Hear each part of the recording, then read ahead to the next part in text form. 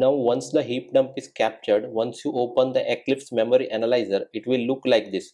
Then you go to the file option, then click on open heap dump and then you can select the heap dump that has been created. Click on open. Now heap dump is imported here.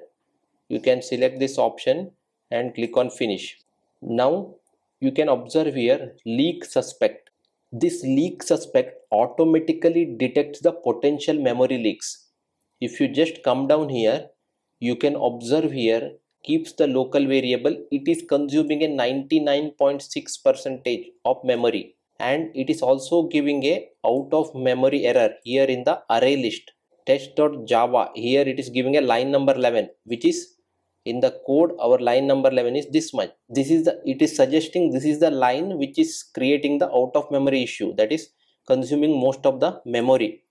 Here you can observe here right? By looking at this you can draw inference that if one object is consuming more than 99 percentage then this is the object possibly causing a memory leak. If you click here see stack trace with involved local variables you can get various details here related to the class. You can observe here this is the line number. It is showing here right? How much heap is retained here. You can observe here right? And it is telling this is the java.util.array list. This array list is causing the out of memory error. Here in the overview page as well you have an option to go to the leak suspects. If you click here see stack trace with involved local variables. You can find what are the variables which are involved.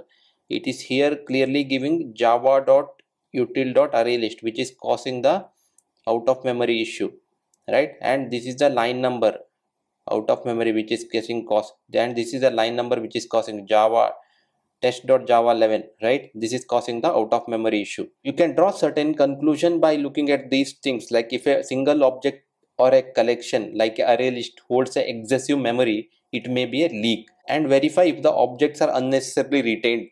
Let us understand leak suspect with a real life example.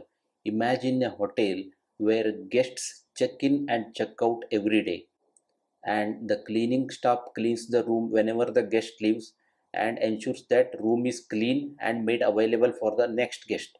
But imagine this scenario where guest checks into the room but never checks out. The room remains occupied forever. Even though guest is not using the room guest is not giving back the locker of the room back to the receptionist if the guests who check into the hotel never check out, then entire hotel will be occupied. There is no place for the incoming guest. This is exactly what happens in memory leak. In Java application, objects should be removed from the memory when no longer needed. But due to unintentional reference, the garbage collector cannot clean them up. Over a time, memory fills up and leads to out of memory error. Just like hotel is running out of room the leak suspect report in Eclipse Mat is like a hotel manager who identifies who are still occupying the room even though they should not be occupying at this moment right? Similarly leak suspect will identify the objects occupying the memory even though they should not be occupying the memory at this point of time right? In this way the leak suspect will help to identify the objects which are occupying the memory and never garbage collected